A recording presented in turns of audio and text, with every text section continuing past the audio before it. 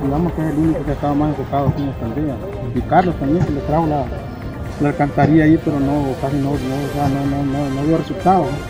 Y entonces por eso ahora, bueno, yo lo llamé a Alfredo y dijo que él iba a poner una parte. ¿no? Y otra parte también le doy gracias a Corsil, porque él ya los, ya los donó 50 bolas de cemento. Otro también a, a Carlos Luis. Carlos Luis también le damos públicamente damos gracias también porque también donó 10 bolas de cemento. Y la comunidad también, que alguna gente ha apoyado también. entonces, eh, esto ya es comunidadamente. Dando todas las personas y otra gente dice que lo. Sí, eso también miramos ahí que hay serios problemas porque cuando sale el río es muy picado. Pero casi no pasa muy seguido, sino que así de vez en cuando, pero sí nos hizo un dragado. Ayer casi hubieron daños, pero no, digamos que solo materiales, que llevó alguna parte de los cuerpos.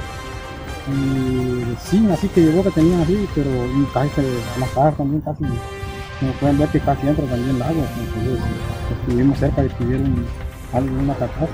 Y Afectadas por lo menos, fueron por lo menos unas, unas 20 personas las que viven a los ríos, del río, porque se mira que hay bastante daño, pero casi solo daño material.